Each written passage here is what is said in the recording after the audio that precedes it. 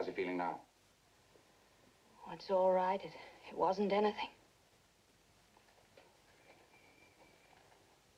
I'm sorry. There's no need. I mean it. I know.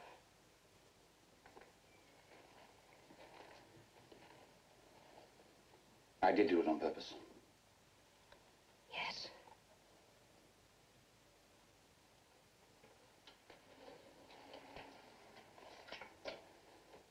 There's hardly a moment when I'm not watching and wanting you.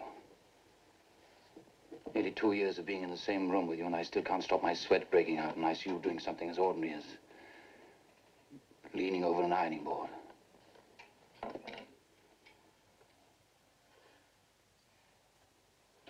Trouble is,